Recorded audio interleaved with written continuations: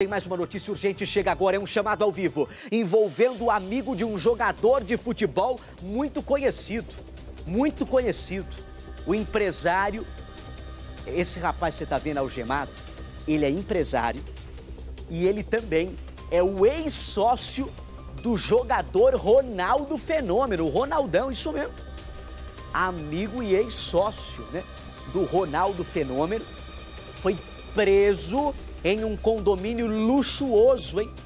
Rapaz, me parece que era cheio da grana. Já há informações de que esse empresário foi condenado por uma fraude de sabe quanto? 167 milhões de reais. Aliás, tem muito e, e muita gente da turma do dinheiro, da, da, da, da turma do cascalho, geralmente quanto mais tem, mais quer.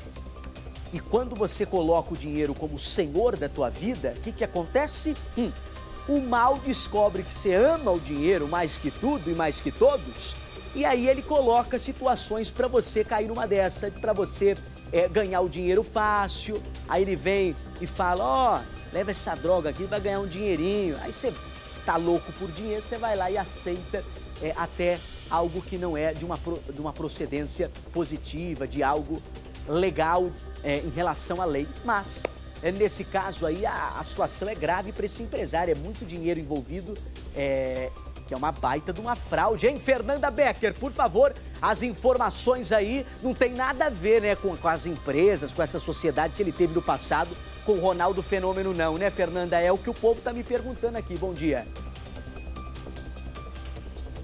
Oi, Dudu, muito bom dia para você e para todo mundo que assiste ao Primeiro Impacto. O Alexandre da Silva Martins, como você disse, é empresário. Ele tinha negócios com o Ronaldo Fenômeno na época que eles tinham a empresa Empório Ronaldo do Brasil, que praticava e prestava serviços de publicidade.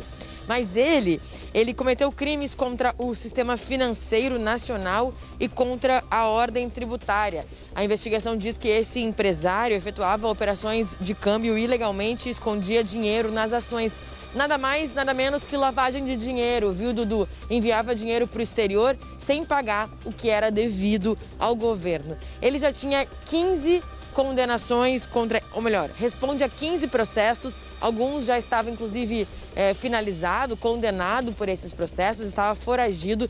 E então a polícia encontrou esse homem e efetuou a prisão. Como você disse, os valores dessa fraude chegam a 167 milhões de reais. E agora, então, o processo corre e ele continua preso, viu, Dudu? Olha, Fernanda Becker, fica de olho no que acontece